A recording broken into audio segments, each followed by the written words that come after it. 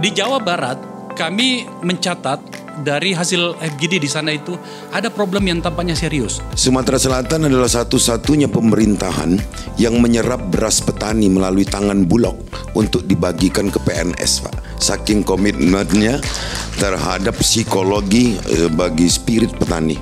Sejak saya bupati, 10 tahun saya jadi bupati, saya beli beras petani melalui tangan Bulog dan dibagikan kepada PNS dan honorer.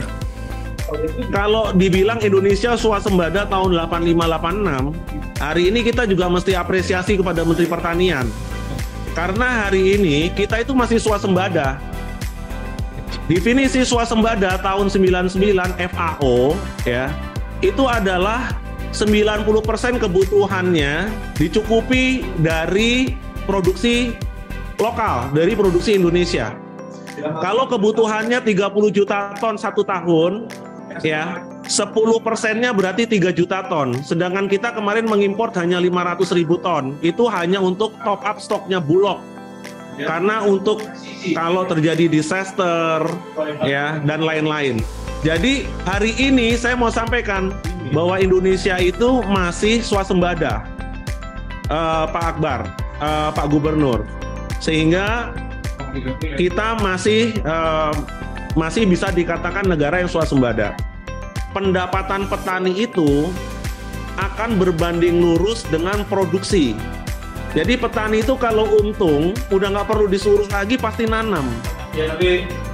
Kendalanya hari ini petani ini belum belum ya mendapatkan um, mendapatkan harga yang baik Sebelumnya kami sebagai petani memang terasa sakit dengan ketetapan yang telah ditentukan.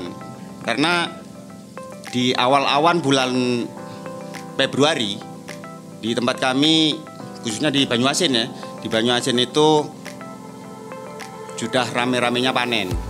Dan harga itu bisa mencapai 5.600 waktu itu. Namun setelah mendengar informasi dan beredarnya kabar itu itu langsung turun sampai sekarang 5000 jadi begitu cepatnya turun makanya ketetapan harga itu diberlakukan sekarang ya mungkin kami sangat-sangat yang dirugikan untuk petani khususnya.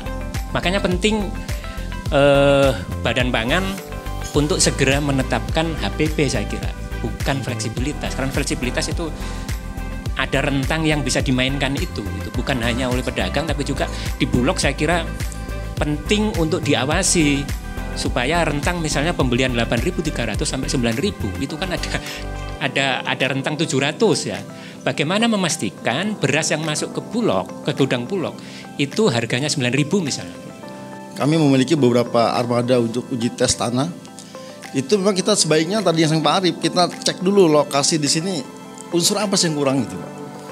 Dan 2022 itu kebijakan Kementerian Pertanian NPK Majemuk tadi yang 15 15 15 itu N-nya ureanya 15, fosfat 15, kali 15 dirubah menjadi 15 10 12. Artinya bagaimana cara kita mengurangi fosfat dengan kalium Pak.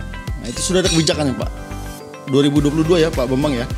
Sudah berubah komposisinya dan itu membantu kami untuk mengurangi beli bahan baku pak karena cukup mahal pak jadi intinya bahwa uh, betul pak terkait dengan contoh uh, NPK singkong pak satu-satunya produsen pupuk hanya Pusri yang punya NPK singkong karena kami melihat di Lampung dengan di Sumatera Selatan ini butuh singkong. Alhamdulillah di di masyarakat singkong Indonesia itu 70 ton per hektar, Pak. Yang tadinya 30 40. Kami melihat komposisinya apa? Di situ kita banyakkan K-nya, Pak. Kemudian untuk sawit, kami bayarkan di K-nya di 27, MPK 27. Jadi kami lihat betul Pak, kebutuhan nutrisi itu apa sih? Jadi tanah di Jawa dengan tanah di Sumatera beda Pak. Jadi di sini juga kami tambahkan dolomit Pak. Jadi mungkin saya setuju tadi sama Pak Arif, kita cek dulu tuh uh, unsur apa sih yang dibutuhkan oleh tanah di situ Pak.